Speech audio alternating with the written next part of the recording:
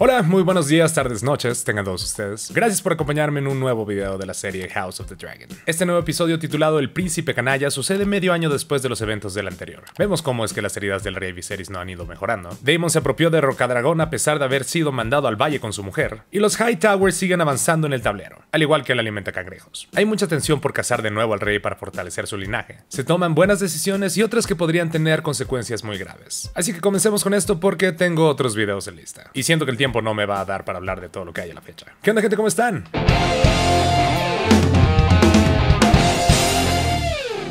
Vamos a empezar hablando del elefante en el cuarto, es importante. Y sé que será una pregunta de muchos que saben cuánto me gusta la canción original de la entrada de Juego de Tronos. No me gustó la nueva intro. Y no solamente por el hecho de que hayan utilizado la misma canción de la serie anterior, auténticamente estaba esperando que fueran a utilizar algo nuevo, algo original, o al menos una variación de la canción, haciéndola sonar un poco más como el tema de los Targaryen, que de por sí ya es una variación. Y algo que hasta incluso me llegó a molestar fue que esta es una reedición. Sí, sigue siendo la misma, pero ciertos fragmentos están recortados. Supongo que esta decisión fue para que la canción quedara adaptada a la introducción y no fuera la escena completa que se tuviera que adaptar a la música. Y para aquellos que sabemos que Juego de Tronos también tuvo sus pequeños cambios con el pasar de las temporadas, el hecho de que esta ni siquiera haya dejado intacta la versión original fue esa pequeña piedrita en el zapato. Dejando a un lado el tema musical, tampoco puedo decir que me encantó el resultado final en cuanto a la animación. Carece de esa epicidad que tenía la serie anterior. Aquí no vemos esos grandes anillos girando mientras hay fuego rugiendo. Y no es que no quede entendido desde el principio que estas líneas de sangre sirven para representar el árbol genealógico de los Targaryen. Pero, y nunca creí decir esto de algo relacionado con Canción de Hielo y Fuego, creo que es demasiada sangre. ¿Estoy mal? Y sí, entiendo Fuego y Sangre, así se llama el libro en el que está basada esta serie. Pero los tonos grises y fríos hace que se sienta algo sin vida, quizá como una especie de premonición de lo que le espera a esta familia en un futuro. Qué bueno que haya una introducción. Solo digo que ojalá y no hubiera sido así. No que sea terrible tampoco. La animación está muy bien realizada y creo que todo está muy bien representado aquí. Es la idea general lo que se me hizo meh.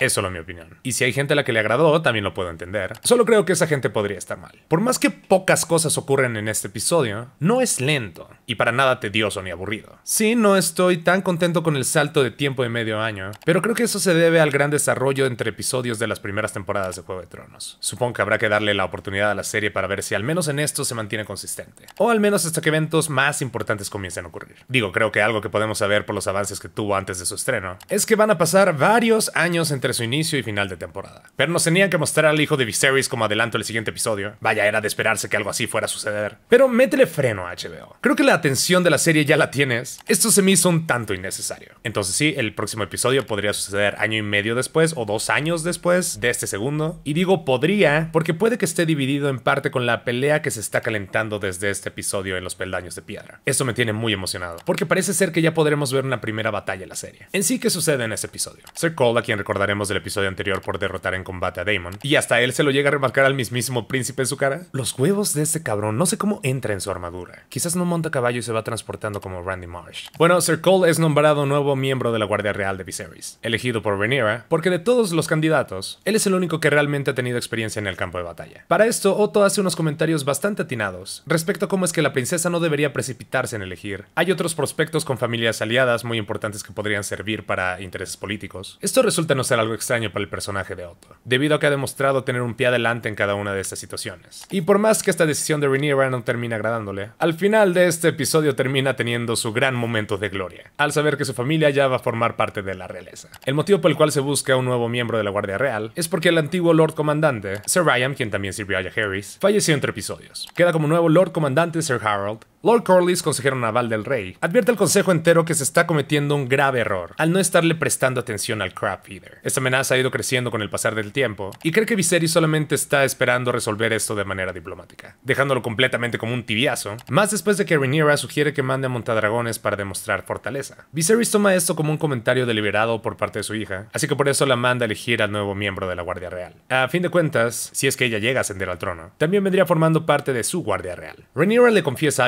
Que quiere que su padre la deje de ver como una niña pequeña. En este universo realmente Rhaenyra ya es casi una mujer de edad, por lo que se siente oprimida por la falta de atención a su palabra por parte del consejo, haciéndola sentir como si realmente no fuera una heredera digna, sino más bien como un reemplazo de Daemon, un plato de segunda mesa. Este es un problema que estoy teniendo ahorita con todo lo de los saltos temporales. Me hubiera encantado ver un poco más de desarrollo de esta frustración creciente en Rhaenyra, así como la relación de Alicent con Viserys, que se nota que se han vuelto bastante cercanos. Obviamente Otto es el que está detrás de todo esto. Y he de asumir que en algún punto de esta temporada estaremos viendo alguna discusión entre ellos respecto a cómo es que Alicent se ha dejado manipular por todas las decisiones de Otto. Aquí solo nos dejan un poco a nuestra imaginación cómo es que esta relación se pudo haber desarrollado con el tiempo. Esta confidencialidad. Me gustó este pequeño detalle que funciona como metáfora, cuando Viserys deja caer una figura de piedra de un dragón y más tarde Alicent como regalo la manda a reparar para Viserys. Supongo que el simbolismo aquí es cómo es que ella va a encargarse de restaurar a su familia y brindarle un nuevo linaje sólido. Pero hablando de linaje, sí, tenemos que hablar de esta incomodísima escena entre Viserys y Lena Velaryon y su caminata de cortejo por los jardines. ¿Recuerdan cuando South Park lo hizo? Vemos algo similar sucediendo en Juego de Tronos con Sansa y Sir Loras. Coldis y Rhaenys ofrecen a su hija Lena como nueva esposa para el rey. Y si hay algo que tengo que apreciar bastante de este episodio, son los distintos puntos de vista de su consejo respecto a la toma de decisiones aquí. No habíamos visto realmente qué posición se encontraba Lord Strong en todo esto, y Viserys aparentemente le tiene una especie de aprecio particular, como para pedirle a él específicamente la opinión más objetiva posible. Todos, aunque con sus dudas, deciden estar a favor de la unión de los Velaryon con los Targaryen. A fin de cuentas, los Velaryon son de Valyria y comparten sangre Targaryen, y Lord Corlys es de las familias más poderosas del reino, por lo que Viserys está un tanto dubitativo de rechazar esta oferta. Es la primera vez en mi vida que utilizo esta palabra.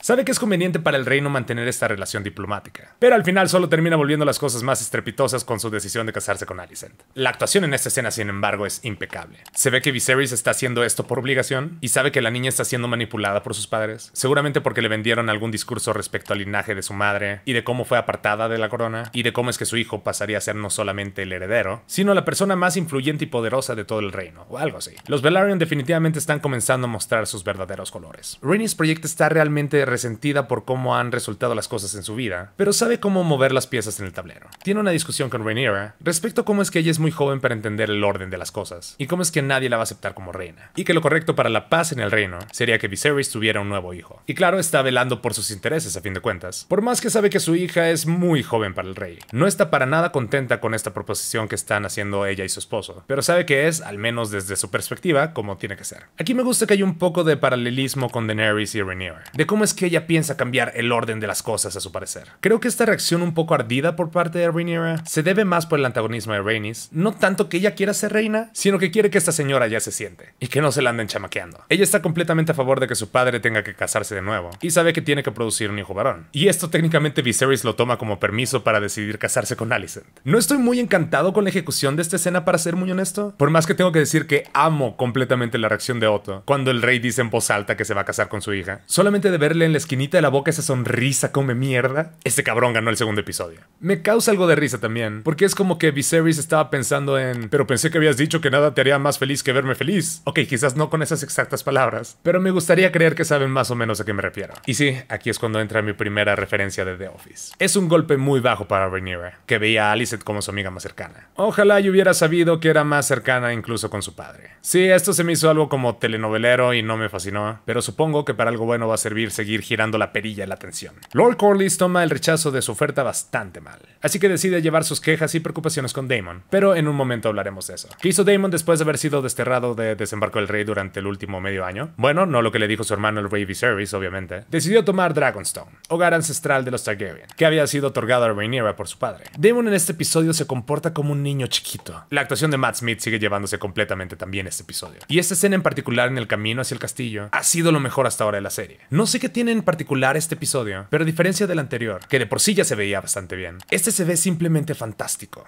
No sé si haya tenido que ver con la dirección en sí, si decidieron utilizar cámaras distintas. Tiene algo que no me puedo explicar muy bien, que quizás podría ser la fotografía, pero es bastante evidente el cambio. Pero bueno, el caso es que aún no logro colocar bien mi dedo sobre lo que exactamente es lo que cambió. Toda la ambientación está perfectamente realizada. Los dragones se ven increíblemente gloriosos con sus monturas. Toda la escena, por más que no esperaba que fuera a terminar en batalla, estuvo maravillosamente realizada. El guion funciona increíblemente. Otto logra expresar sus sentimientos hacia Damon, que se notaba que los tenía encapsulados desde hace rato. Cómo hace mierda a Misaria llamando la puta cada que puede, mostrándonos una cara de la mano del rey que puede llegar a formar parte importante para más adelante en otros conflictos. Damon solamente quiere llamar la atención de su hermano, y me pregunto qué hubiera pasado si Viserys hubiera terminado yendo, ya que Otto lo convence de no ir personalmente porque sería muy peligroso. Pero creo que Otto era el que quería ir a ver a Damon para decirle estas cosas. Resulta que Damon también se robó un huevo de dragón del Pozo de Dragones, y no por casualidad roba el huevo que estaba destinado a ser del hermano de Rhaenyra. Este huevo pertenece al dragón Dreamfire, al que todavía no nos han presentado. Demo no solamente roba el huevo, sino que también deja una invitación para su boda, planea casarse con Misaria y anuncia que está embarazada. Esto sabemos que termina no siendo cierto, y solamente es un intento sumamente desesperado porque alguien tome en serio a Damon. Aparte que Misaria tampoco puede tener hijos. Rhaenyra toma de manera muy personal esto, y decide ir sin permiso del rey a Dragonstone para recuperar el huevo y evitar un conflicto. Un movimiento bastante osado de su parte, pero al final del día, es lo que termina haciéndola aparecer ante los ojos de Viserys, ya una persona madura para tomar sus propias decisiones. Y cuando digo que toda esta escena es genial, me refiero a todo. La entrada de Rhaenyra es triunfal, se pasa a Otto por sus ovarios, le dice a Daemon de frente que se deje de mamadas, y la mata ahí mismo si es que realmente quiere regresar a ser el heredero legítimo, y Daemon obviamente termina echándose para atrás. Viserys se molesta por esto, pero tampoco remete contra ella, y solamente le advierte que debería tener más cuidado debido a que su linaje corría mucho riesgo, más con ella tomando decisiones así de abruptas. Viserys tiene un momento de apertura con Rhaenyra,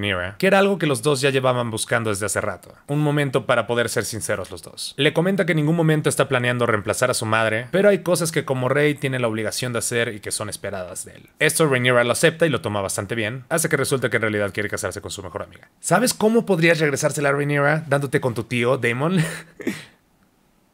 podemos percibir más acerca del alimenta cangrejos, y vemos que tiene esta presencia bastante sombría. Vemos de primera instancia cuál es su método de tortura favorito, y si correctamente es alimentar a los cangrejos con gente. Tengo el presentimiento de que quizá no lleguemos a conocer mucho de este personaje, quizá solamente vaya a funcionar como un antagonista para que Corlys y Daemon unan fuerzas, y con esto hagan una declaración al rey de que Daemon es un heredero legítimo, que está viendo por el reino, y que sabe tomar decisiones. Siento que Corlys está realmente más interesado en que nadie se meta con sus barcos que el hecho de que su hija pudiera ser reina, a fin de cuentas su poder yace en su fuerza marítima, y podría también ofrecerle a su hija Daemon como parte del trato, si es que este lo ayuda a acabar con la amenaza pirata en los peldaños de piedra. Me encanta cómo es que Daemon sigue defendiendo a su hermano a pesar de que él está más interesado en otras cosas en este momento, como en que le va a decir a su hija ahora que ya decidió casarse con su mejor amiga. Después de la escena de Dragonstone, tampoco puedo decir que me encantó lo que sucedió con Misaria y Daemon. Misaria en primera no me interesa en lo absoluto, no sé si quieran intentarla poner como una especie de Shay, pero simplemente no me importa. Y puede estar completamente loco, y también que me esté sacando este el culo, pero siento que su diálogo en esta escena está sobrepuesto, ya saben. A veces es algo que se tiene que hacer en películas y series, y es algo que normalmente se hace cuando hay ruido que no se puede controlar del ambiente o en el set por el equipo. Como que sus líneas fueron regrabadas en postproducción. No sé, simplemente hay algo que no me cuadra. ¿Había algo mal con el audio de sus tomas? No conozco a la actriz, así que ni siquiera sé si es su voz la que está sonando. Puede que la actriz haya necesitado marcar un poco más su acento para que sonara más extranjera, o puede que esté solamente mal de la cabeza. En fin, si no hubiera sido por la escena de Rocadragón, honestamente este episodio habría estado por debajo de ok.